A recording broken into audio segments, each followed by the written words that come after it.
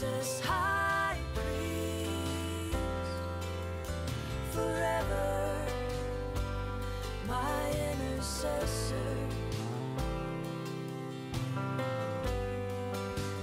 Jesus, high priest, forever, my intercessor. Jesus, high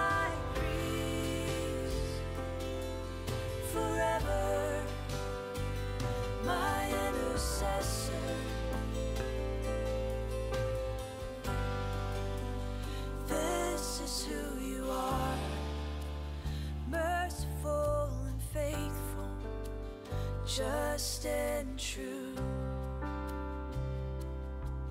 Forever, this is who you are, merciful and faithful, high priest forever.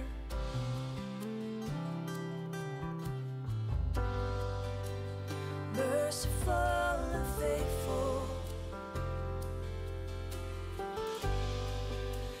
merciful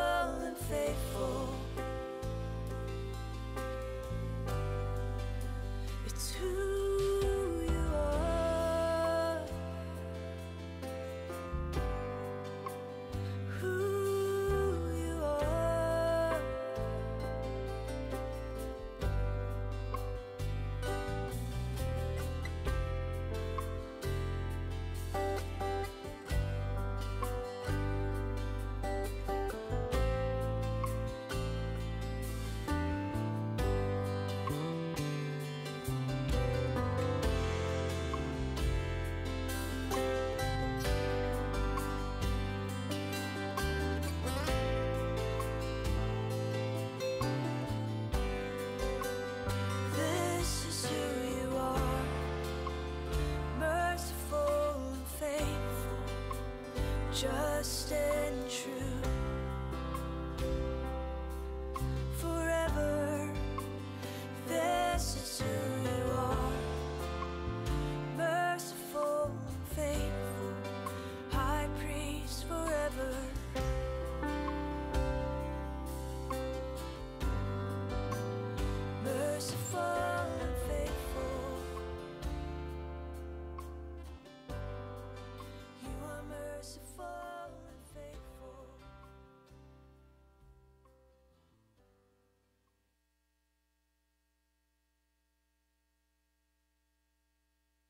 Hi. Welcome to the second of five Wednesday nights on Releasing Destiny.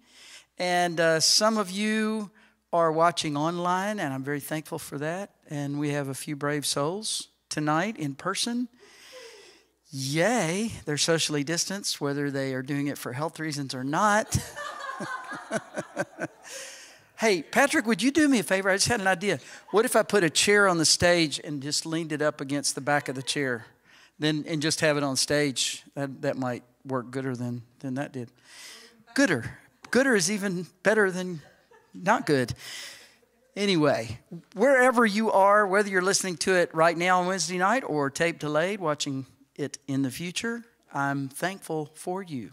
And I'm thankful for this opportunity. And this young lady on the front that you can't see in the film is Rachel, and she is the one who opened this door. So I am tipping my imaginary hat here to you.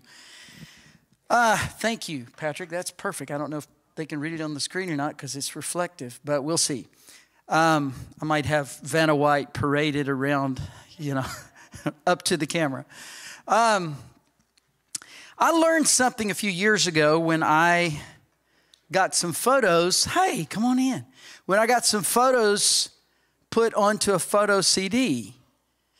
And I thought, oh, this is great. This means I'll have these photos, you know, till Jesus comes back. I can sit down on a computer with Jesus and show him these pictures. And then I learned I'm getting educated about technical stuff. I'm not a geek. I learned that over time, bits of information on those photo CDs just kind of evaporates away. So that 50 years from now, there will be a chunk of that that's on your CDs you won't read. That's why you need to get it digitally, because it doesn't evaporate from the digital. Why am I telling you that? What does it have to do with destiny? Because our brains are like those photo CDs. And there are, if we don't continue to remind ourselves of things that God is speaking to us, they will just start fading away. And we don't realize they're fading away. This is why in the Old Testament, God repeatedly says to the Israelites, These things, these truths you're getting, um, tell them to your kids, put them on your foreheads, put them on your doorposts, tell your children's children. Keep telling it because we're so, it's not just that we're prone to forget. We've got an enemy who is committed to our not growing, our not learning, our not getting revelation, a deeper revelation of who God is, et cetera, et cetera. That's my excuse for saying, let's do a little review from last week. Because last week really was the foundation for everything else I'm going to say on these other weeks. Thank you, Patrick. That is perfect. Perfect. Uh, and by the way, if this, I'll test your prophetic giftings. If this stain on my sweatshirt made you think, I'll, the word of the Lord to you is that's probably chicken salad. I just want to confirm that word. That is of the Lord. So, so if that bothers you, I'll take it off. But, you know, if thy sweatshirt offend thee. so, last week, what we talked about is that and this is so important that we started with this, is that whenever you talk about destiny, you got to talk about terms. Now, when I, uh, my degree from school is in political science. You've heard me say I've been a pol- political or politics nut since I was 10. I don't look at one or two or 10 news sites, I look at about 20 to 25. And I'll get different takes on the same thing. And so between them, and I've got I've trained myself now to when I read a sentence, I'll say, wait a minute, I'll stop on a sentence. Is that fact? Or is that conjecture? Or is that opinion? And when you do that sentence by saying, oh my goodness gracious, you realize how much of what is, quote, news is not. And there are narratives that are tried to be on all sides of the spectrum. So, I know that in politics, you know who, the, who are the ones who really have the power? The ones who define the terms. And if you want to change something, if you want to, you know, change a whole culture, you redefine the terms, like family. The word family, what does it mean today as opposed to what did it mean 20 years ago or 20 plus years ago? Uh, there's so many things that when you change the term, and the definition of the term, then you, you're the driver in the culture. You're the one that gets to make the decisions, and people will follow you because you're telling them what words mean. Words mean things. This is why it's so important about Bible translation and you know going if you know if there's a new translation, I want to know the, the ethos of the the team that did the translation. What what was it? So saying all that to say that the definition of destiny in, uh, that many believers have has come from the world and not from the Bible. Because the, the world will say, Oh, sister, you need to find your destiny. Well, you don't have to find it if you already have it, right? So your destiny is never, ever, ever, ever, ever what you do. What you do. Thank you, star student there. She's on the A row, and it goes. Your destiny is never what you do. Now, why do I say that? Because of Romans 8 29. Papa Don's one of his favorite verses, one of my favorite verses. It says that we were predestined to be conformed to the likeness of Jesus. When you put pre in, so, in front of something, it means beforehand. So when God thought of us before creation, He thought about decisions for our life. He thought about who our parents would be, our nationality, that we would have a beautiful bald head. You know, he made all these decisions for our lives because he thought of us before creation. And his destiny for us was that we would look like Jesus. We were predestined to be, the world says you're predestined to do. The world gets their identity from what they do or don't do. And when you bring that into the church, if you're doing a lot of religious stuff, then you're going to think God's impressed with you. Jesus has news for us if we're thinking that way. He says, The Son, talking about Himself, the Son can do nothing by Himself. You can do nothing by yourself. In other words, if I can't do anything without God, do, you, do I even need to have to spell this out for you? we can't do anything without His enabling, His anointing, and His making it happen. He does it all. The only thing we take credit for is that we were crazy enough to say, you know what, we're a, we're a poor little hungry orphan out there, and somebody's offering me to the adoption papers to be adopted by the King of Kings and live in the palace. Well, I ain't stupid. I'm going to take that deal, and it's free. So, your destiny is never about what you do. It's never about what you do. Your destiny is who you're becoming. Now, I'll tell my students, I'll say, look, if you'll imagine you're 80, 90 years old, and your extended family and friends want to have a big party to celebrate your birthday. We, we missed Papa Don's 90th because of COVID, but we, I remember the 80th we had here. And there's a microphone set up in front. And all these people that have known you probably all of their life, they get an opportunity to come up at the mic and talk about you. What things would you like for them to say about you? They really, they really were great craftsmen. They could make really good tables. You know, they could really work on a car. Oh my goodness, they could bake a cake. Is that what you want to hear? All the things you could do? Or do you want to hear them say, they had a heart that looked like Jesus? They loved people. Whenever I was around them, I knew that I was number one in their attention. So if you can imagine that, some of us are closer to that happening date wise.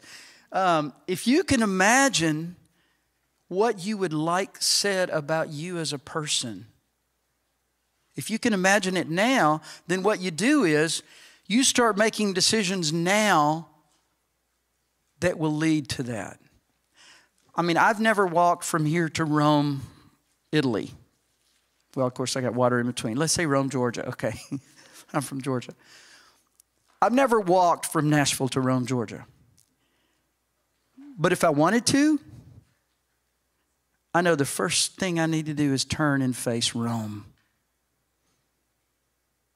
and take steps toward that direction. And it might take me weeks to get there. But I know there's always a first step and there's a turning that has to happen. So your destiny is about who you're becoming. Your destiny is to look like Jesus. And Jesus says, and whatever you do, I would so love to hear the tone of voice when Jesus would speak these things. Because we all the movies, you know, you got you know, somebody that's supposed to be like right out of central casting. And the Bible, that's not what the Bible says. Bible says he was basically almost ugly. Oh, would they ever cast someone almost ugly for Jesus? Oh, no, no, no. Because the world gets their identity from how they look, also. You can tell people's reflections of what they think of Jesus by how they portray him, their choices made. And so, so anyway, we, uh, where was I going with that? Why, why do I, I had a little bit of headache this afternoon. I thought, okay, I'm not going to do this forget what I'm saying thing like I did last week. Yes, thank you. I love to read the things in the Bible out loud. I had a speaker one time say this, and it just transformed it. He, me, he said, When you read the Bible, don't just read it silently and Mm-hmm. Okay, close your Bible. Okay, I've done my, my duty. Check. He says, No, if you'll read it out loud and not just read it try, like you're trying to put yourself to sleep, You know, if you want, if you have trouble sleeping, you're an insomniac, I, I, I have great news for you. Go to a funeral, go to the burial, and record the pastor reading Psalm 23. And if you have trouble sleeping, it's guaranteed it'll put you to sleep. To me, that's a war psalm. It's all in how you read it. It's all in tone of voice. It's kind of like in, in uh, social media. One thing that is done for us, it has robbed our inability, our, has given us a lessened ability to communicate and relate to each other because we're so used to do it virtually. And when you read Facebook posts or Instagram or whatever your flavor of the month social network is, there's a new one all the time you can't get nuances of tone of voice. You can't get inflections in the face. You can't get the fullness of the communication they're trying to give you, right? So that means I've got to use my imagination when I read the Bible. I want to put myself in the scenes. I want to hear Jesus' voice. Hi, welcome. I want to know what it what it would have felt like for the hearers of Jesus in those days. And um, let me tell you this the two great questions that every human needs to know for their life. Either consciously or subconsciously, every human who's ever lived asks these two questions about themselves Who am I? And why am I here? Now, here's the problem the world says answer the second one first and then answer the first one. Find out what you're supposed to do, and somehow through that, get your identity. That's how the world does it. Notice in Matthew 16, when Jesus is uh, famous passage where Jesus says, uh, Who do men say that the Son of Man is? They say, Oh, some say Elijah, some say John the Baptist, some say Jeremiah. Jesus does not say, But who do you say you are? He said, Who do you say I am? Why does he do it in that order? Who do you say I am? Because until you get a clear revelation of who God is, an accurate revelation of who God is, to whatever degree that is off the mark, it's inaccurate, your self concept will be off the mark and inaccurate. I want to see me the way God sees me so that I'll see you the way God sees you. If I accept and don't challenge these misconceptions I have of God, then that means I'm going to be walking around as a lie for myself. I'm not going to let you see what God sees in me. What you're going to see is me operating out of woundedness. And so destiny begins with knowing God. What did Jesus say in John 17? Father, this is eternal life that they know you, true God. So, knowing God is lesson one, the very beginning of you grabbing hold of your destiny. The angels are outside with a wheelbarrow, apparently. Okay, so, your destiny is never, ever, ever what you do. Instead, it's who you're becoming. And so, the enemy, what he's, he's the liar, he's the father of lies, and he has two lies. Only two. I like to simplify things. His two lies are, begin with a lie about God. And if you believe lies about God, like I was just saying, then you'll believe lies about yourself. That's always the order he goes in. And the reason he lies to you and wants you to believe his deception is so that you'll sin. Every sin you or I have ever committed, every single one of them began with believing lies about God and then lies about ourselves. It's good to know that so that you can go back and do CSI and find out what the truth is that you missed. So, Satan lies to you so that you will sin, so that he can steal what from you? What? Destiny. Your destiny, but your what? Huh? Peace. That, that happens too. What did God give to man over the earth? Authority. You have to understand that Satan's modus operandi, his overarching motivation, everything he does is for this purpose. He wants to rob, steal, and kill and destroy from you because he wants your authority. He lost his in heaven. God's never going to change his mind. Okay, you can come back, Satan. Just don't do that again. Not going to happen. He lost all of his authority. The only other authority that existed was this junior throne that God gave over the earth to man. And Satan knew the principle that I said last week. There's two statements I said anyone or anything you give identity to, you have what?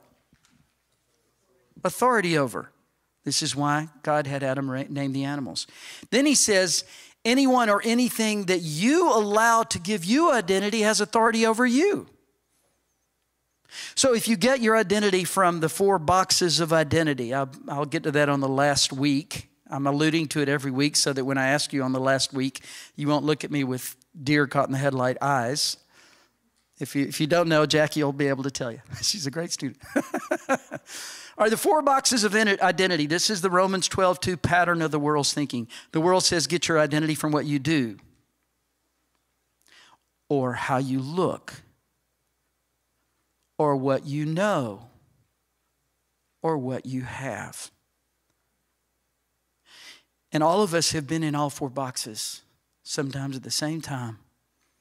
And whenever you live in a box, you judge other people through that lens. And we bring that into our church expression. Our relationships with fellow believers comes from whatever boxes of identity we operate in. Because if you live in a box, then what you're going to try to do is put other people in boxes. You're going to, you're, you're, if you have let the world tell you what your destiny is instead of God, then you, that's what you're going to give to others principle in the, in the Garden of Eden everything reproduces after its own kind. If you've got a miss, uh, you know, an off kilter concept of God, your concept of yourself is going to be created by the world and not by God. And so, whenever I teach, my prayer is, is always the same. I said, Lord, help me to see them as you see them. And I've learned a little truth that sometimes the people that are the hardest to get along with, or the people that are just have this special anointing to get under your skin, um, those are usually the ones that have the most to teach me.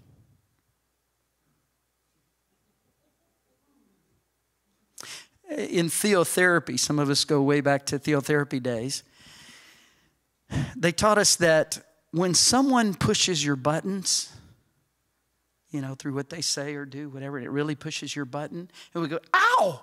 God, look what they're doing. Ow! God, make them stop. And God said, I know, isn't it great? That's me. The issue is not that they're pushing your buttons, the issue is that you have buttons. So if you'll notice the people that just, they just seem to delight in doing that with you. Pause. Say, Lord, don't take them out of my life until I have learned what you want to show me. And let me get past their rough exterior, Lord. Let me get let me see what you see and others don't see in them. I've had students in DTS that, you know, the rest of the school, discipleship training school in Youth with a Mission, I've had students that, you know, because of their attitudes, because of their the way they relate or whatever, nobody wanted to be around them. And it was a challenge for me, but I'm the teacher, I have to be around them. and when they get a breakthrough, oh my goodness, like the, the clouds part, you know, the, the sun comes down, and all of a sudden, God lets us in on how He sees them. Because what I'm seeing now, was always in them. It was just buried under a bunch of lies. So, our goal is to live free of lies ourselves so that we have an authority to help other people come out from under the lies. Make sense? So, Satan wants us to sin the three categories of all sins lust of the eyes, lust of the flesh, and the pride of life. And so his, he's the father of lies. He comes to steal your authority. He wants to kill you, body, soul, and spirit. And he wants to destroy the Father's kingdom through you. And if you are passively in the kingdom of heaven, then you're actively building the kingdom of darkness. We may not realize it, but we may, we're making disciples naturally by osmosis. We think of just the process, okay, I'm in this school, which is all about discipling. So, yes, I'm discipling. We don't realize every day of our life people are watching us. And we are discipling people, we're just not used to using that word for it. I told you before there are five Gospels Matthew, Mark, Luke, John. And your life? And the one the world reads first, it ain't those four. It's your life. And when they read your life, who is the Jesus or the God they read on your pages? Because that's exactly what you're reproducing. You reproduce after your own kind. So, my encouragement to you is God has hidden inside you incredible glory. And it's the glory of God to conceal a matter, it's the glory of kings to look for it. I don't want to get to heaven and find out that I had, you know, a couple of thousand rooms full of treasures that I never unlocked. I want to know the greatest journey you can go on is, to, is the journey of finding God in you. The journey of searching out the mysteries, the journey of taking to Him all your pain and hurt and say, Why does this hurt me? Instead of blaming other people and passing it on and hurting other people the way you were hurt, instead of doing that, you take the pain and say, Lord, why does this hurt me so much? Nine other people, I, I remember a time on an outreach I can't remember exactly what happened in some foreign country. And something happened, and I was just really ticked off. All my buttons were pushed, and none of the other nine people were bothered. I'm like, great. They're just, I'm working with nine blind people.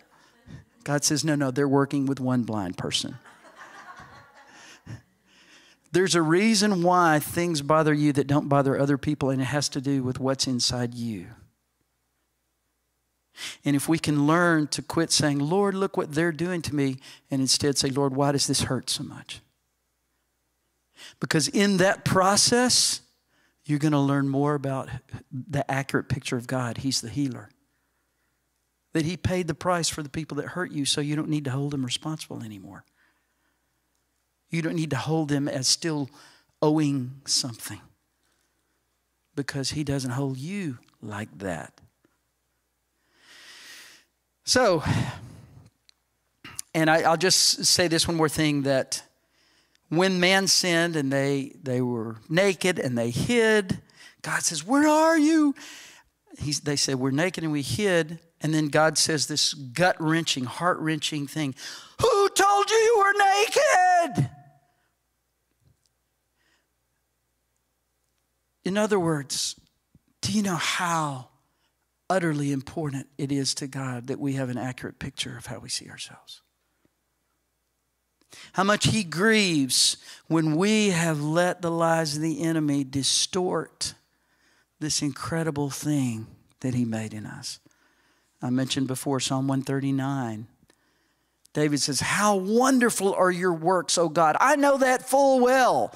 He wasn't talking about rainbows and waterfalls and tropical fish and peacocks. He wasn't talking about all the fit natural. He says, Your works are wonderful. Oh God, I know that full well. I am fearfully and wonderfully made. David, the man after God's own heart, understood he was the apex of God's creation. That God thought of us before creation, and everything that He created was for us. As a place where we could walk in authority and in fellowship with Him. That was His desire, and God would so love for that to have been still the case through history. But alas, there was sin in the garden. Now, some people say, well, you know, if I'd been in the garden, I mean, how hard can it be? God says, don't eat fruit. You just don't eat fruit. I have news for you. Guess where we all were when man sinned? In them. We sinned in the garden. Now, some might theolo- theologically argue with that, but biologically, we were in them. Do you agree? I tend to believe we all sinned in the garden. So that all have sinned and fallen short of the glory of God. Therefore, God needed to send his son. All right. That's kind of enough review. There's a lot more I could say, but does anybody have a comment or a question before we move into new stuff? I don't want to leave anybody behind. Anybody at home? If you got a question, send it to Rachel. maybe, maybe she can relay it to me. Um, or after tonight, let me know, and I'll be glad to see what I can do to help help with your question. Yes, sir. Four boxes of identity. What you do, how you look, what you know, and what you have. There are subsets beyond that, but those are the four biggies, I think. Um, all right. Well, when man sinned, there were consequences to the sin. Uh, uh, Patrick, can you answer? Oh, got I get it on first. Would you answer Cynthia Damon's question for me? Um,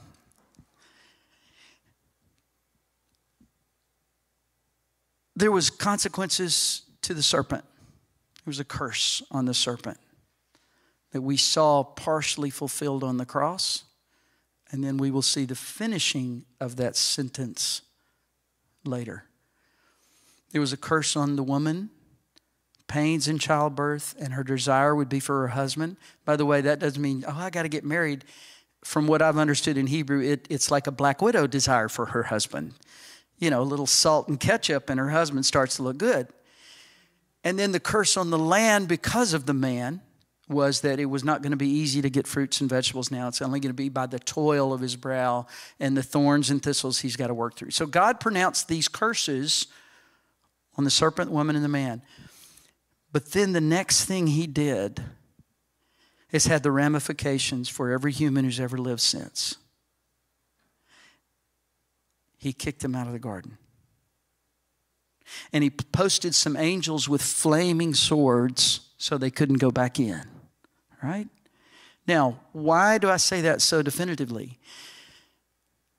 Getting kicked out of the garden meant separation from God. That was the birth of what we call the orphan spirit. And every human who's ever lived has had the orphan spirit. And just because you got saved, I got news for you. Doesn't mean you stop thinking like an orphan. It's that orphan spirit is why Jesus says, I will not leave you as orphans, because that's how he found us when he came to earth. The whole earth was one big orphanage with Satan as the cruel orphan master. Did you guys ever watch Little House on the Prairie? And the, the guy that would come sometimes looking to pick up vagrant kids, Claymore, that was the name of the. I just think of Claymore when I think of the whole world was this orphanage. And what's the different, what's the purest definition of an orphan? Someone without parents. Because we were separated from God, Satan was then able to father us. And the process of being transformed is undoing the parenting of the enemy and allowing the parenting of Abba to transform our lives. Does that make sense? What did I say? the, the, the, when we have the orphan spirit, the enemy has parented us. So the, the process of transformation is undoing the, par- the parenting of the enemy and allowing the parenting of Abba Father to come in and undo all of that stuff. So, Again, I said you've got how you know God is the beginning of your destiny. So tonight we're going to look at how does the orphan spirit versus a spirit of sonship or daughtership relate to or look at God. That's tonight. Next week we're going to look at how those two different views, opposing views, look at or relate to themselves. The next week, we'll look at how these two opposing views look at or relate to others. And it goes in that order, it flows in that order. All right? So, what I'm going to do, I'm going to, uh, I had the wrong color marker. Um, I am going to write one or two words in each column just as a summary word. Um, and I'm going to give you a much longer list for each one of these categories. So I, I did Dave say he can see this? They, they can pick it up online? Okay. O for orphan, orphan spirit. Some people are uncomfortable with hearing the term orphan spirit. So if you would prefer to call it orphan mentality, feel free. The reason I call it orphan spirit because Romans says we've been given a spirit of sonship. So if there's a spirit of sonship, I assume there's a spirit of orphanhood you know, could be wrong, but that's my thought. So, orphan spirit versus spirit of sons and daughters. I'll fix that in a minute. So, tonight we're going to look at this top category how they look at or relate to God. All right?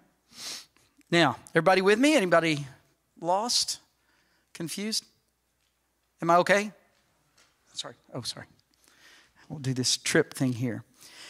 All right. I want you to think for a minute. Oh, I don't have my watch on. I need, uh, let me get my phone so I can keep track of time. um, thank you.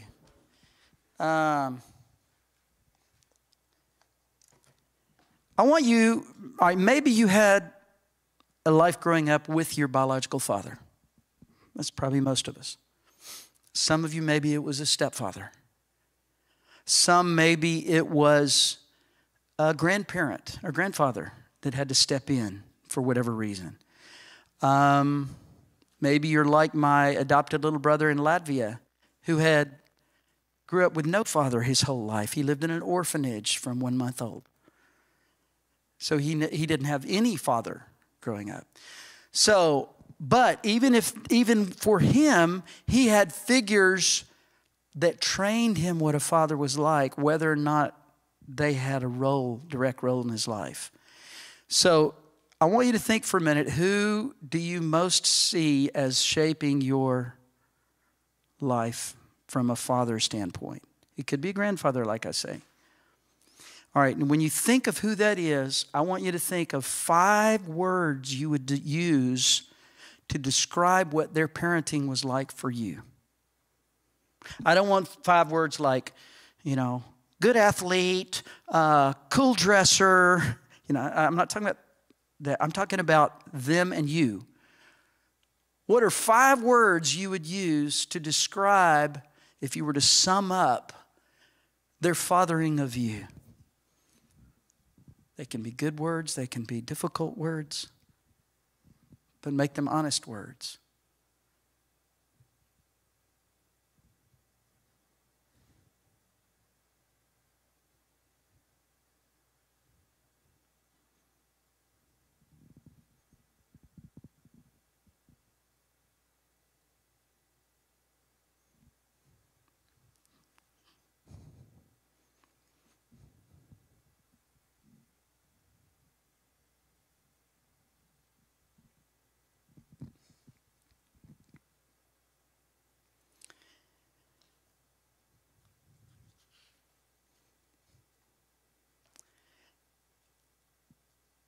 I'll be surprised if, when I go through all the words that I have on the two sides, I don't hit many of the words you've written.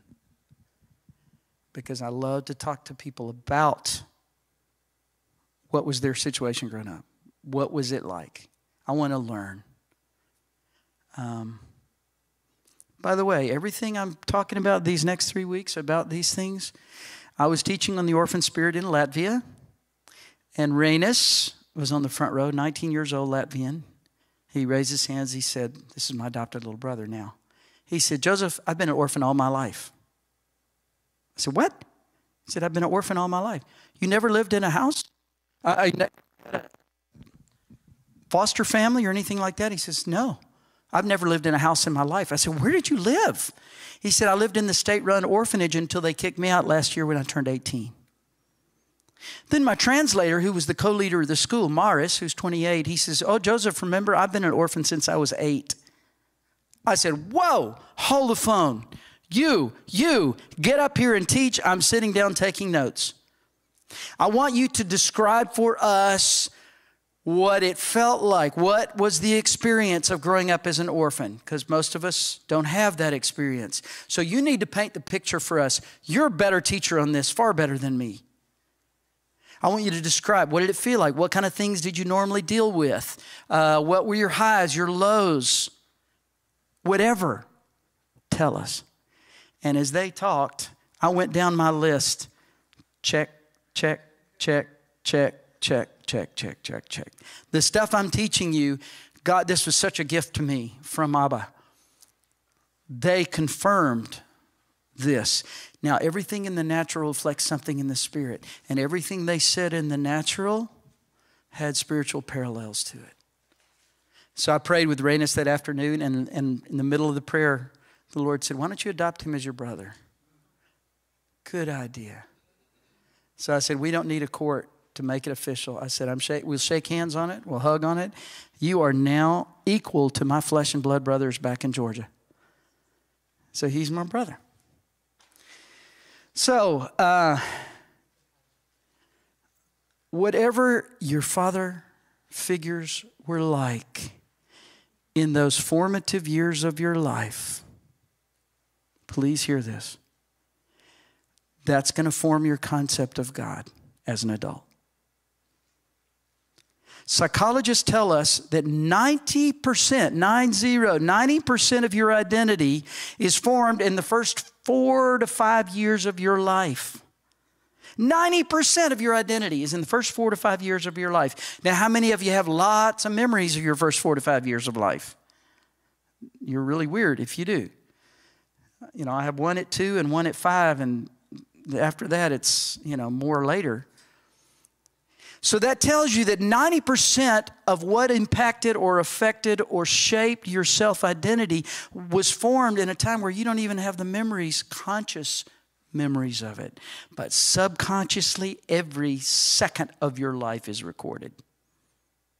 And we think that we operate out of our conscious mind. We don't. We all operate out of our subconscious because our, our subconscious is what tells us what we believe to be true.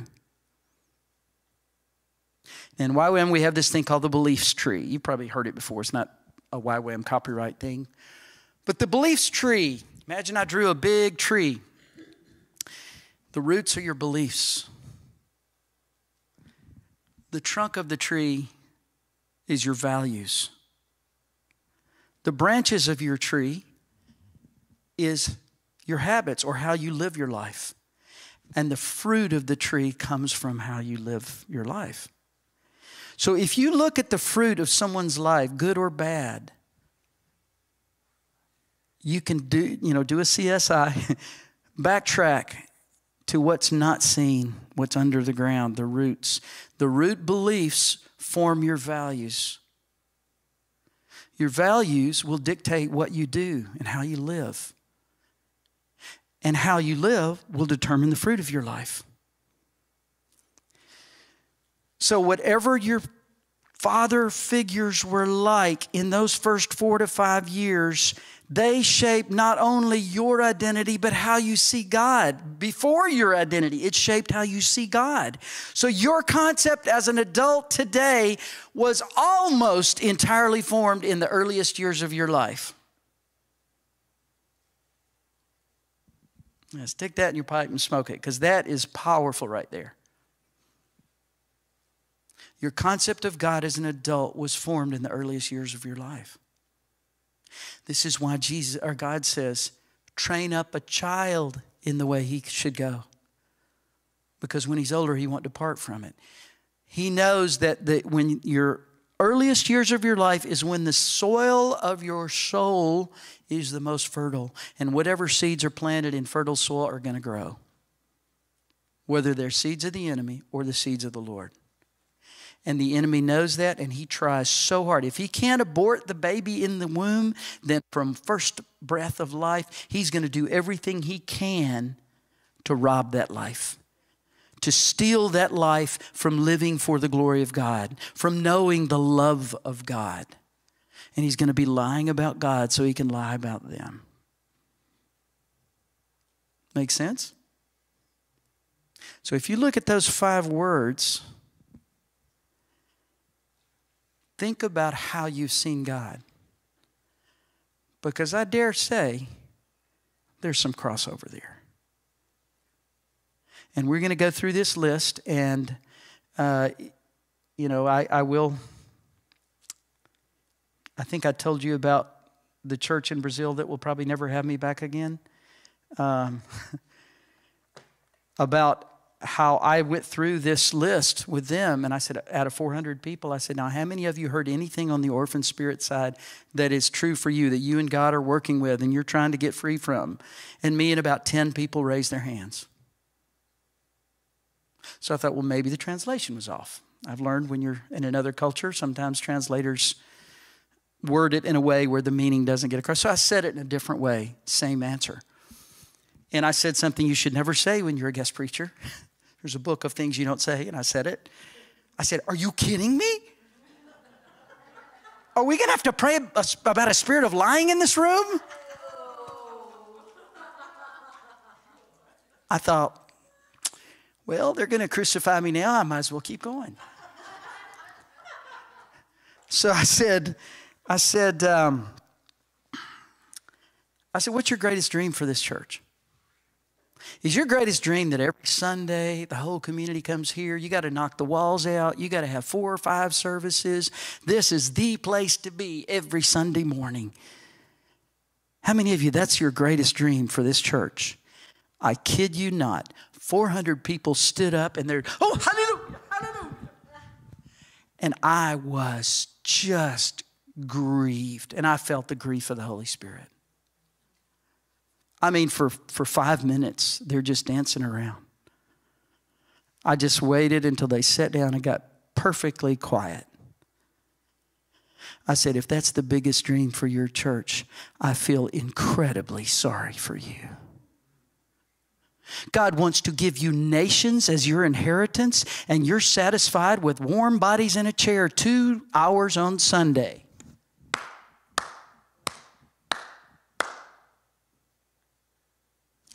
By the way, these three YWAMers who attend this church that were a part of the school I was teaching that week, they said to me, I said, so that church helps support you? They said, oh no. I said, what do you mean? He said, no, no, they've, they don't, they've never given us anything. You're kidding me. I said, Yes, I would love to preach at your church. So I said, How many of you wish you had bought a stock in Apple computers 30 years ago? We, and still had it. We'd all, you know, you could buy a few cities with it now. So if you want a return on investment, you got to invest on the front end. I said, your, your uh, buddy over here from the church, he's about to leave on an outreach to New Zealand and Samoa in three weeks. How many of you would like an inheritance through your brother in New Zealand and Samoa? And they all raised their hands. I said, Great! Everybody get your wallet out. Those hands went down like so fast. I said, Why'd you put your hands down? Did you mean it when you raised your hands, or were you a bunch of religious orphans? Because if you want an inheritance in the nations, you got to invest in the nations. God says, I'm going to give it to you, but you need to go. And there's only two categories you're goers or senders. There's not a third category. Not many people wanted to talk to me afterwards. I said, Look, I said, don't wait on your pastor to call an offering so that you can, because they do their offerings where each row goes up and gives. And, you know, I said, "I don't be like the Pharisees, like, hey, get this on film, you know, YouTube next week. I was in a church in Brazil, in Burundi, Brazil, on, uh, no, not Burundi, Benin, West Africa. It was uh, Pentecost Sunday. And they do that, they do their offerings that way. by row, they come up. And from where I was sitting on the stage, I could see every hand that went into the collection plate. Two thirds of them were empty. It's their tradition to act like they're putting money in. So I said to this church in Brazil, I said, um, don't wait for the pastor to call an offering. I said, here's, here's something I know about YWAMers and missionaries. If you just came up and you just slipped money in their pocket and nobody but God saw it, God would see it and would reward you because you're investing in the kingdom not for the glory of man, but for his glory. So after the service, I'm talking to the YWAM buddies and I feel a tug on my pocket, right where my wallet is. And I like, I turned and looked, and there's this tall, skinny guy named Gabriel who was uh, part of the worship team, played bass. Tall, skinny guy. And I said, and I reached in my pocket, and there was a two reais, which is kind of like the widow's two mites. It's not worth much. The smallest denomination in their currency. I said, What is this, bro? He says, He says, I want you to know I heard you. He says, I'm in school right now, so I can't, I can't be traveling to the nations right now. I don't have a lot of money, but this is what I have. And I know that you go to the nations, so I'd like an inheritance through you. Can I do that? I said, Bro, let me pray for you. And I want you to know for the next three or four months, every country I went to, I said, Lord, make sure in heaven Gabriel gets an inheritance in this nation because of what he did. And I said to Gabriel, I said, if you're the only person out of 400 who got this tonight, it's worth coming here for you. You got it. So Satan does not want us to claim inheritance. Satan wants us to be stuck on stupid. He wants us to be stuck in the lies that he gave us at the earliest part of our life. So I'm going to give you a key word to describe how the orphan spirit sees God. Ready?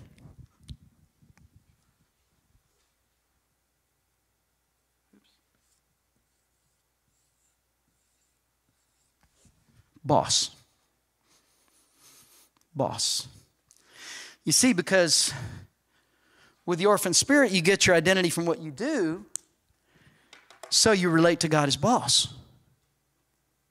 Now, how many of you have ever had a job in your life? Okay.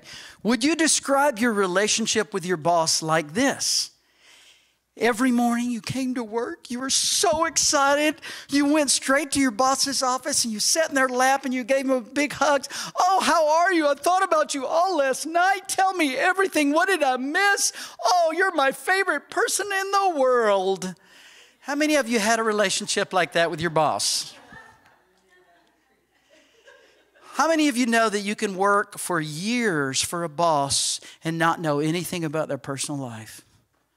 You don't know where they live. You don't know how many kids they have, if they vacation, you know, where they study in school, what their favorite food is. You can, you can connect with a boss for years. But what is the essence of the, the only reason why you want to connect with a boss? Find out what the work is.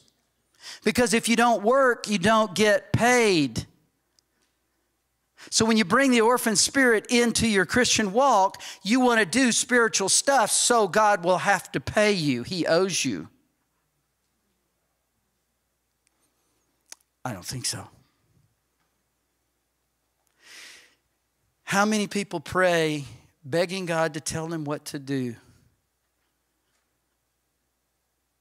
If more of your prayer life is begging God to tell you what to do next than begging God to tell you about Himself, you pray more like an orphan than a son or daughter. Because the motivation of a son or daughter is to be like their dad. The motivation of the orphan is to work to earn. It's a contractual thing which is not guaranteed. So I got to keep working.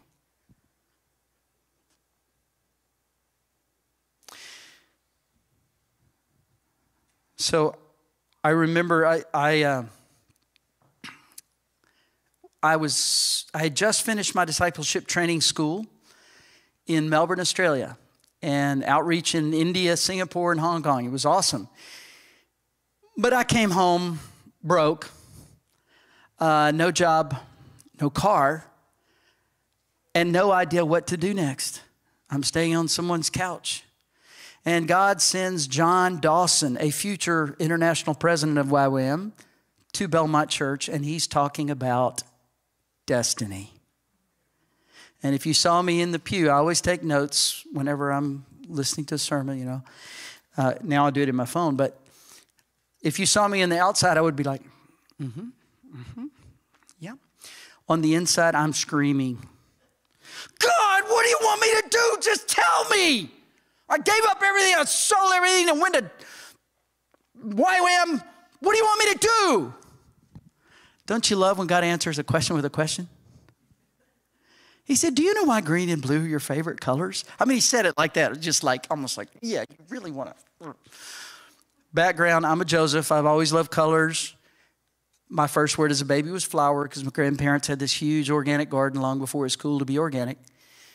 Little background. So I said, oh God, why are green? I'm talking destiny. You want to talk colors. Okay, why are green and blue my favorite colors? He says, Well, every flower before it blooms is green first, and that's you. You help things bloom into what I created them to be. I'm like, okay, that's pretty cool. What about the blue? He says, The blue is the water that feeds the flowers and causes them to grow, and that's me. So you and I work together in my garden where no two flowers are the same different shapes, sizes, colors, and smells. That's who you are. You notice what happened? I was asking him to tell me what to do, but he knew the deeper question that I needed answered first was who I am. I didn't fully understand that until two years later when God called me back to Melbourne, Australia. I'm staffing my first school there, and there was 41 students from 15 nations. They were all leader types, and I'm looking around the room like, you know, my dad has this frame thing. There they go. I should hasten after them, for I am their leader. That's how I felt with all these really incredible people. And I'm looking around the room, and I heard the Holy Spirit whisper, This is that blue and green thing I was telling you about. That's why YWAM is my tribe. I get to be who I am there and here. This is not what I'm doing, teaching you.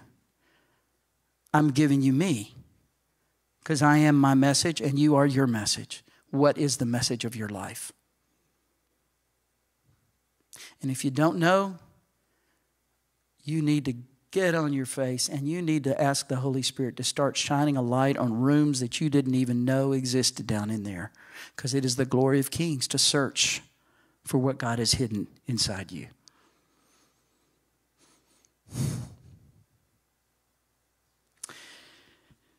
So if you see God as your boss, and let's say growing up, uh, maybe your parents were in some way abusive. There are a lot of, lot of forms of abuse, and it seems like the longer, the darker the world gets, there's more expressions of abuse. There is physical abuse, sexual abuse, there is verbal abuse, there is emotional abuse. But uh, what they all have in common is taking something from you that there was no right for them to take from you. If in any way you were robbed by your authority figures growing up, you will transfer that identity unto God. You see, with my big spoon, which I'm sorry I didn't get out yet, it was here, it just was resting with my big spoon, I'll come up to people and I'll, I'll just like, this is what the enemy will do. Oh, I'm getting out of the camera range. Sorry. I'll hit you and go, oh, look what God did to you. It's just what Satan does. Every good and perfect gift comes from the Father of heavenly lights. Every bad thing came from the enemy. The enemy does all the bad stuff and then he blames God for it. And if you're listening to the enemy, you got to know who to and not to listen to. If you're listening to the enemy, then you're going to believe and you're going to, to some degree, you're going to hold God responsible for bad stuff that happened in your life.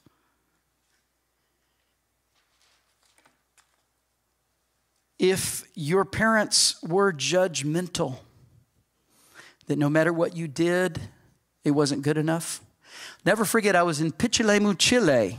a place I've taught many times, been going since 99. In fact, I'm wearing a t shirt. Well, trust me, it's, it's on the t shirt. Um, there's a course that YWAM has called School of Biblical Studies. It's nine months long, and you go through every word of the Bible five times in nine months. And in fact, before you can come to class to hear a teaching on a different book, you have to sign this paper to say that you read that entire book out loud in one sitting. The only book they divide up is Psalm into three 50 chapter days.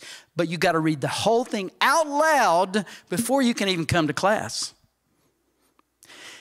In nine months, you have six days a week, you have your class, and then you have about six to eight hours of, of homework out of class. Six days a week for nine months. You know the Bible pretty good when you finish. There was one student that was, I happened to be teaching the DTS the week of the SBS, School of Biblical Studies graduation. One of the students uh, was from Oregon. And his parents came down, and I noticed that, he had been a DTS student in a previous school that I taught. So I, I knew him, had, had good friendship with him. But I knew he was such an intense guy, and he was just driven to do everything perfect. I mean, he had incredible standards for himself and other people. And I met his parents. They came for the graduation. And each student had to make a short five or 10 minute presentation in the graduation service. And their son did an, amazing job. So I met them afterwards. And I went up and I said, Man, your son did such a great job. You know what their reaction was? I, I, I, I had to walk away because if I'd stayed five seconds more, things that would have come out of my mouth might not have been from the Holy Spirit. She said, Well, I guess it was okay. We were hoping for a little more. And suddenly I understood him. There's a saying in Japan a fish stinks from the head down. So, whatever your authority figures are, that's going to shape how you see God. All right, let's say maybe your parents or your authority figures were powerless. You saw them as powerless. I'll give you an example. I was sexually abused when I was about 10. And my parents didn't know about it and they died never hearing about it, that's okay. God, God's worked on that. But see, Satan never misses an opportunity to capitalize on those events in our lives. It's a thing you hear in what Emmanuel, uh, Rahm Emanuel, who was chief of staff for Obama when he was president, never let a tragedy go to waste.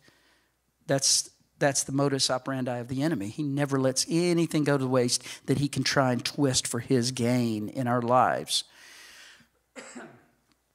And um, so, because my parents didn't stop that from happening, how could they? They didn't know it was happening. The enemy let me believe the lie that my parents were powerless. See how that works? Your concept of God is formed from what your parents were like. Or your Maybe your parents were explosive and overpowering. Maybe you're a, a child of an alcoholic parent. And you never know who, you know, the, the stereotype is more like the, the dad comes home and you never know which dad he's going to be. He's going to be good dad or bad dad. Is he going to yell and hurt people and destroy the house or is he going to be, you know, come in and fall asleep? We don't know. When the car's driving up, there's this fear. I don't know which dad is coming in. You know, goes to Christmas past or what? But if your parents were, uh, if the way they related to you was overpowering and explosive, you're going to think God's like that to some degree. If your parents were distant, maybe you had a parent in the military or they had a job that was far away and they were gone for long stretches of time Or they worked where you saw them maybe 30 minutes of the day because they went in before you woke up in the morning and they came back after dinner or something. Who knows? There's a lot of ways that your parents could be distant. But if they were distant and that was the norm for you growing up, the message the enemy will give you is that God is distant, He's far away. It's too far for you to travel to go to Him, so don't even try. If your parents seemed deaf to you, like they never heard you, I remember in a theotherapy time years ago where they, they do this role playing and acting out of the people that have hurt you. And I remember this couple was uh, standing in for my mom and dad. And I said, You never listened to me. And the facilitator wisely rephrased it for me and had me say it to them in a different way. And I said, instead of pointing the finger at them, I said, I never felt heard by you. And when I said those words, I broke. Because I realized their brokenness is brokenness begets brokenness. Hurt people, hurt people. Love people, love people. Forgiven people, forgive people. But hurt people, hurt people. They force people in the present to pay the price of people that's not been paid yet, of people who hurt them in the past. And they feel justified in doing that. And they don't, they don't realize how much they're operating out of unhealed crap.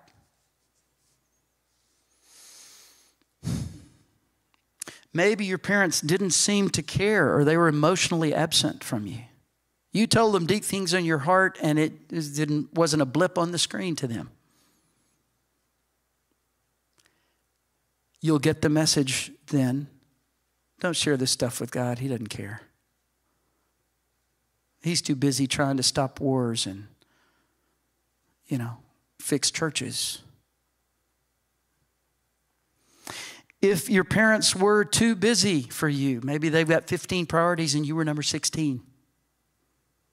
Everything was more important than you and what you were going through. Satan will tell you from that God is too busy for you. Don't bother him. If your parents were partial to others, uh, like your siblings, for example, the enemy will tell you that God is partial and he loves some more than others. Now, let me give you a little story from my life. When I was growing up, I'm the youngest of four boys. My dad absolutely loved sports to an unbelievable degree. So in our house, it wasn't a question of will you do sports or not. It was a question of which sports will you do. So I tried all kind of sports and swam in the summer, rode my bicycle, did wrestling, cross country, track. I tried tennis, I was terrible. Tried gymnastics, I was terrible. I did baseball six years. I did basketball growing up, I was terrible. You know, in our family, you do sports. Well, my oldest brother had zero sports ability, zero. So he didn't get affirmed by my dad. And he ended up in a gay lifestyle. That's connected. Second brother had more, had some sports ability. My third brother, best natural athlete I've ever seen in my life. He has trophies from five different sports.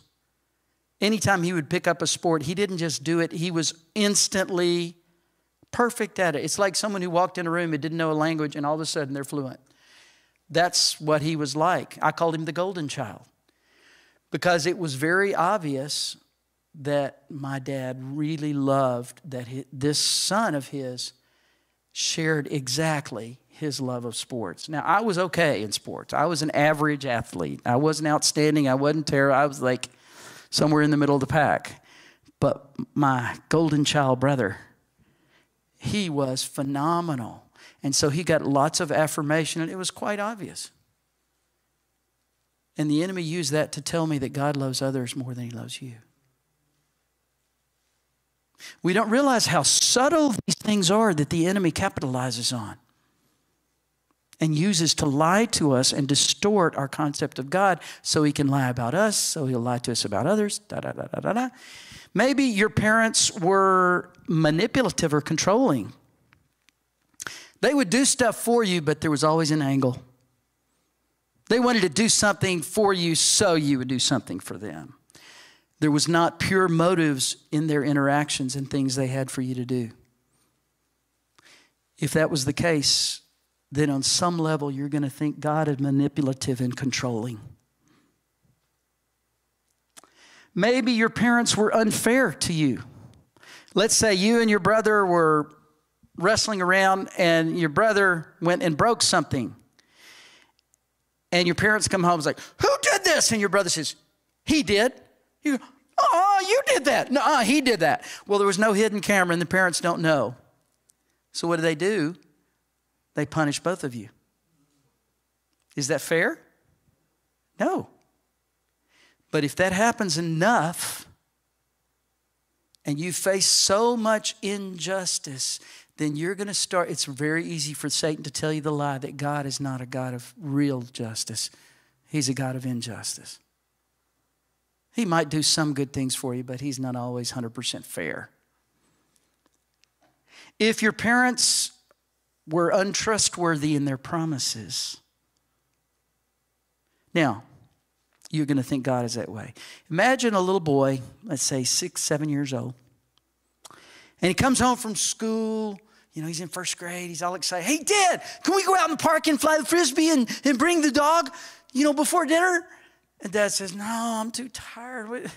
No, son, I had a rough day at school, at work. You know, just, we'll, we'll do it Saturday. I, I just can't tonight. I'm, I'm just too tired. All right, from Tuesday night till Saturday, what is the only thing that little boy thinks about? Going to the park on Saturday. He tells all his friends of school about this to the point they're sick of hearing about it. Come Saturday morning, he usually sleeps in, but not this Saturday morning. He's up at 7 o'clock. He makes his bed. He takes the trash out. He feeds the dog. He puts his shoes on backwards. He's like so excited, and he opens dad's door, and dad's sound asleep. And he jumps on the bed. Hey, Dad, wake up. It's time to go. We're going to go to the park. Remember, you said, you said. And Dad goes, oh, no, son, not today. I, I need to rest. We'll, we'll go another time. Just, just never, never mind. Go, go, go. Get away. What happened to that little boy's heart? If that happens repeatedly, the little boy learns that he can't trust his dad's promises but he doesn't realize he's transferred that trait onto God. So that you don't put both feet down on the promises of God in the Word of God, because God is not completely trustworthy in your idea. Maybe you share confidences with your parents that you don't want to go anywhere else. And they blab them out, totally disrespecting your boundaries. Satan will tell you God is like that. And so what you do is you put walls between you and God because you can't fully trust him if he comes all the way in to your holy of holies. Because remember, you are the temple of the Holy Spirit now. He lives in a temple not made by human hands, and where he resides, where his glory is, is, is in our holy of holies. That's the deepest part of us. That's where all the sacrifices need to be made. That's where all of the, the healing needs to happen. But the enemy says, whatever you do, do not let God there. Lastly, if your parents were stingy, they only do things for themselves. They never give you what you want, but they're quick to give what they want. If that's your experience, you can think God is stingy. Don't even ask Him for good things because He is not going to give it to you. He might to other people, but not you. Don't even ask.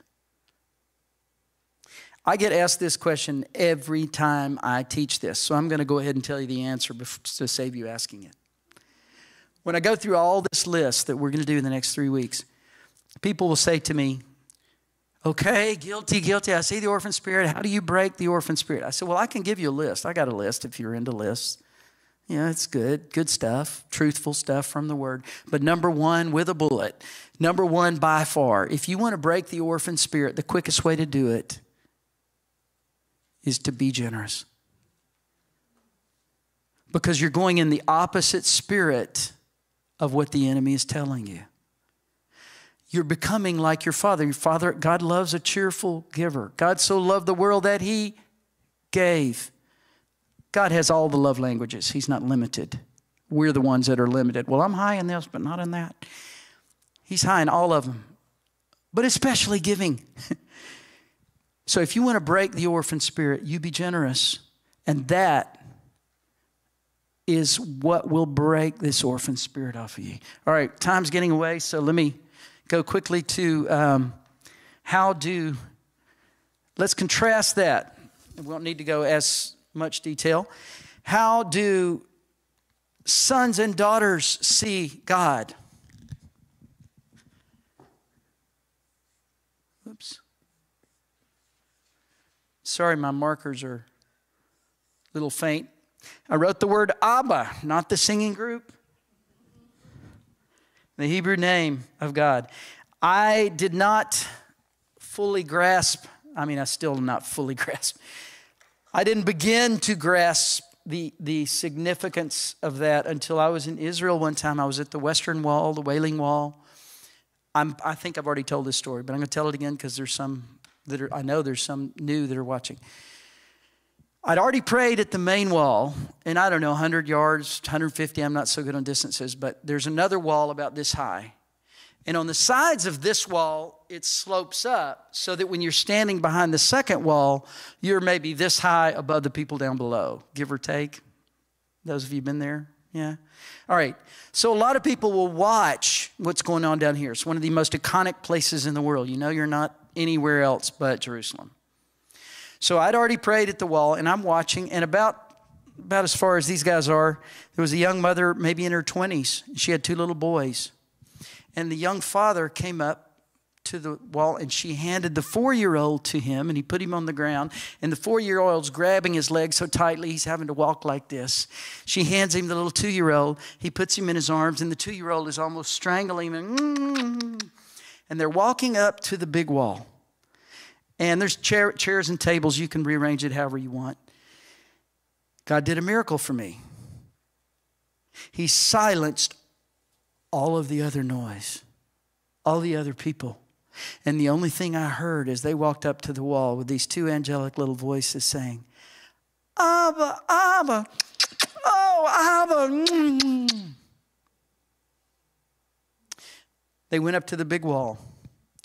He got a chair. He sat in the chair right in front of the wall. He had one son on one leg, one on the other. He held them close, tousled their hair. He kissed them. He He's pointing to the wall and he's teaching them.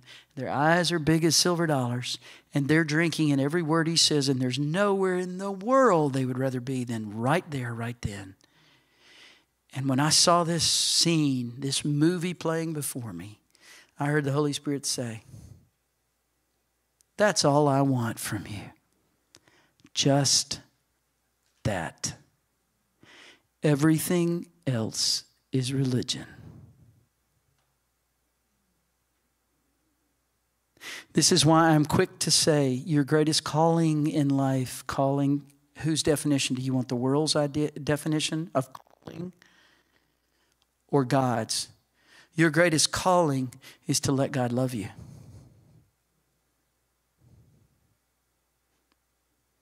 And the more, as we say in the South, the more ed up you are with His love for you, then that will influence and, and marinate everything about what you do you will operate out of love the way your father does. So instead of the abuser, sons and daughters see God as the healer.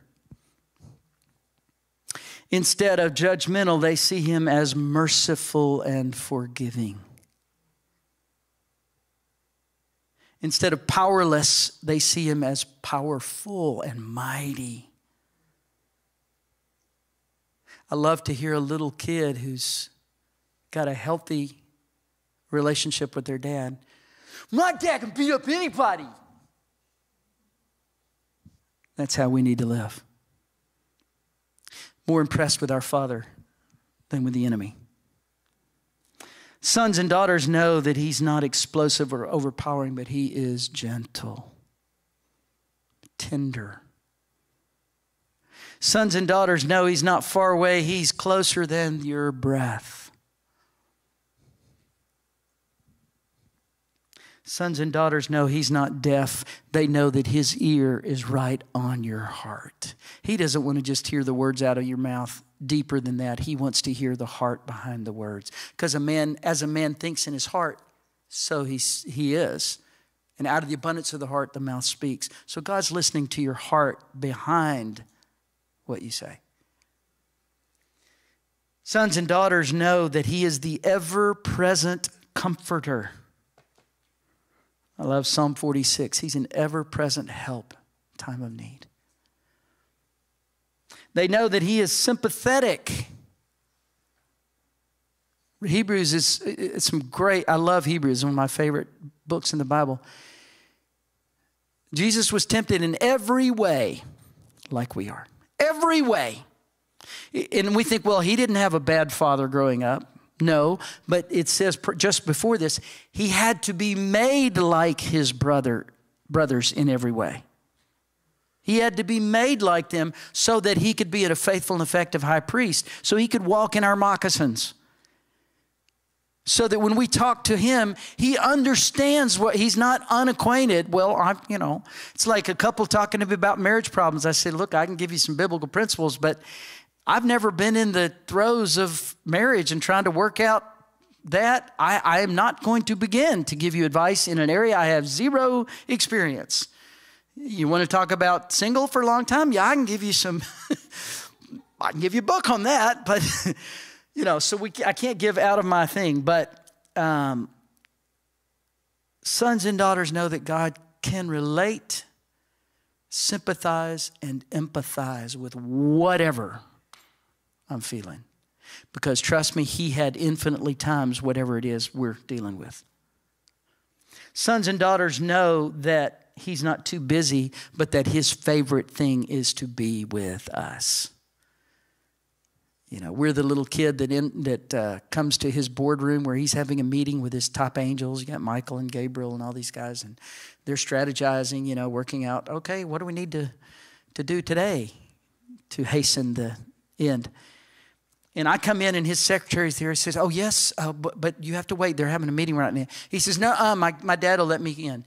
I open the door. My dad sees me. He says, The angels, he says, All of you leave. This is the most important meeting I have today, right now, with my child. Sons and daughters know there's not a schedule to interrupt with God, they know they are the schedule. Sons and daughters know that He loves all creation. All that were created in His image, He loves. I mentioned this, I think, last week or sometime. I've spoken so many times, like, I don't know what I said when. So forgive me if I'm saying something again. Just get over it.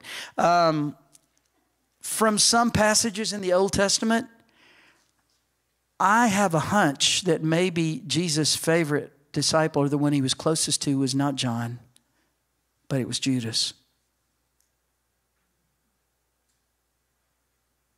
If you look at some of the Psalms, because a lot of the Psalms are messianic, correct? Not only Isaiah and other passages, but a lot of the Psalms, because David was a man after God's own heart. So a lot of the experiences David had were foreshadowing of what Jesus' experience was going to be like as Son of Man. So from that, some, from some of that, it's made me think, I wonder if maybe Judas wasn't the one he was he loved dearest. And the dearest cut was Judas. Wouldn't that make sense? The one closest to him was the one that betrayed him. Just throwing that out. I'm not saying thus saith the Lord, but I'm just pondering it. Sons and daughters know that God never manipulates and controls, but He loves to set us free. And if the Son sets you free, woo, free indeed. Free at last, free at last. Thank God Almighty, I'm free at last. Sons and daughters know that God is not unfair, but He is just. Whether I understand it or not, whether it agrees with my concept of what justice is, that doesn't matter because His ways are above my ways and His thoughts are beyond tracing out, so far above mine. But if you don't start with the rock solid belief God is just always,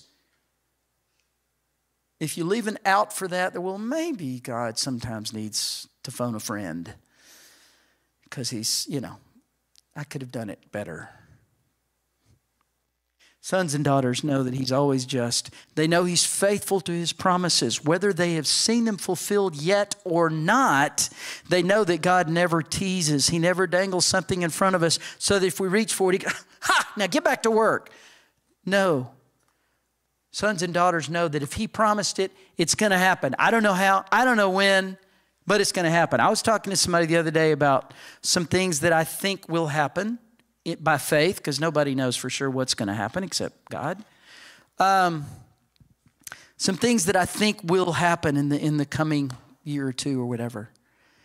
And every time I say some of this to people, they'll say, oh, "Come on, how is that going to happen?" And my response is, "I don't know, but this is what I do know." In the Bible, Three to five million people had just come out of Egypt from being prisoners, slaves. They were facing the Red Sea, mountains, desert, and they could look back and see the dust in the air from Pharaoh's army uh, chariots galloping on their way to them. There was nowhere for them to go. I said, So let me ask you this question. Out of those three to five million people, Israelites, who knows? You know, different people have different estimates. How many of them do you think nailed it and predicted what God's solution was going to be? You know how many I think? See, God's not in our boxes. And God's solution and God's way of fulfilling his promise to us, it's not yet in our mind, and we get offended when we don't have a say so in how He does everything He does in our life. And why do we do that? Well, what happened when you were growing up? Is this making sense? Hmm. In India, if they want to say yes or no, they do the same thing. Hmm. So if you're struggling to sleep, just, you know, do your head. Uh, almost finished. Sons and daughters know that God guards the intimacy that you have. He's not going to blab to everyone the things you share with Him in confidence. Things spoken in the quiet place stay in the quiet place. It's kind of like Vegas, but a lot better. And finally, sons and daughters know that God is insanely generous. I love talking to YWAMers who, uh, you know, they're younger and they've not had, you know, many years of God proving his faithfulness and his provision to them. And I've got more stories of God's faithfulness and provision than I ever had hair. And I'll just start rattling off stories to them to build their faith. You know, needing an airline ticket to buy it by midnight so I could fly out at six in the morning, and the money comes at 11:40 p.m. Sometimes God does do things at the 11th hour. Get on the phone, I get the ticket, I hang up the phone, it's 11:59, I take a nap, I get up, I pack my bag and I'm on that flight at 6 in the morning. God has provided way more than I need for 25 years I've been in YWAM and of course all my life before that. Sons and daughters don't live with a poverty mentality. How can you live with a poverty mentality when you remember that you live in the palace of the King of Kings who owns everything? So, next week we'll talk about how, with the orphan spirit, we see or relate to ourselves. And it flows out of how you see or relate to God. I'll probably say that multiple times every week. Hopefully, it'll sink in with you. All right, so I've given Three minutes for questions. We're supposed to stop at eight.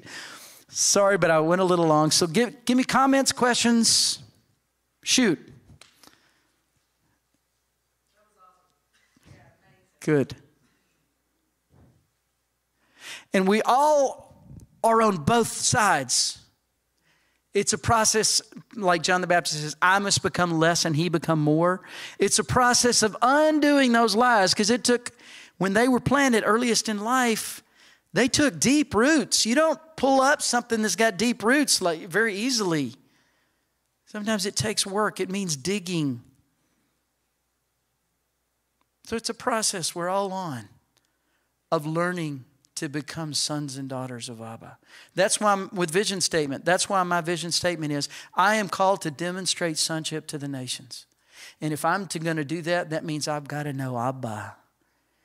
That means all the areas where my concept of him is still a little off kilter. I need to give Holy Spirit permission to help me in that transformation.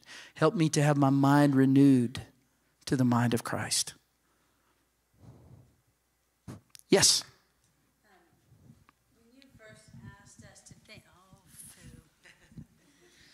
Um, I said foo.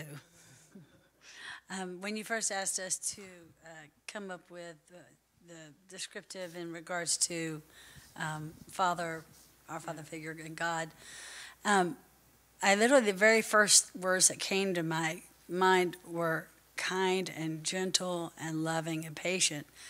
And then you went through all of the orphan spirit aspects, and I went, oh, yeah, oh, yeah, yeah. And all of those were things that I had truly experienced and felt. But before my father passed, um, I was not a believer. Um, but I had been living with him briefly, and um, and he asked me to come into the library. And as I did, I was like, "Oh, what did I do?" And he goes, "Just come in here, honey, and sit down." And I said, "Okay, Dad. All right, fine." It's a long story short. He said, "I need to know, will you forgive me for not being the father you needed?" For not having been there and listened and been available as you needed. And he said, I've got every excuse, but I haven't been the father you needed, and I need to know before I die, will you forgive me? It took him, well, I think um, that was in 86. He died in 90. And that literally, I wasn't willing to relinquish my hatred towards God at that time but it literally snapped in me. And I said, Yeah, Dad, you're fine. Don't need to ask me for forgiveness. You're fine. No, nothing's wrong. And I tried to escape, and he wouldn't let me. He goes, Honey, please. Because he was a believer. And he had completely turned around and recommitted his life prior, just prior to that. And, and so when that happened, it brought such an incredible healing to that massive breach. And it's one of the most amazing things looking in my life that God has done because the, literally my first reaction to you and your questioning was gentle, kind, loving, patient. And I'd forgotten everything else. Yeah. And I had received his forgiveness and I was able to forgive and it was it was one of the best things. So that's awesome. Um, I, I, will say this that, that reminded me of one thing. When I talk about this orphan spirit, the hardest people to recognize any orphan spirit in themselves are people with a religious spirit. Do you know what a religious spirit really is? Anger toward God and they mask it with religiosity. But deep down, there's a grudge against God. I saw this when I was uh, just down the street eons ago. I, I did a six three, six month, I don't remember, thing at this radio station, WNAH. It's an old time gospel station. That's never been my type of music, but hey, it was work and I was in school. And one after another of these preachers that would come in, you know, on the, online, they would, you know, talk the talk and everything. But their lives were filled with poison and the way they would interact with people and the scowl on their face and the looking down. I mean, goodness gracious. If that's following the Lord, please can I have plan B? Um, but it is amazing when we forgive. His asking you for forgiveness was not just for him. He knew because he was a believer that you needed to forgive. He needed to see you set free before he went home. Because if he's a believer, he was already in the process of letting God do that for him. We're, we're over time, so I guess we can cut the tape. I'm happy to stay as long as you want for but to all of you back home, thank you for being online wherever you are watching. And uh, again, if you have any questions or comments, please shoot them to us and maybe we can address them next week. Uh, so, any other comments, questions? Yes.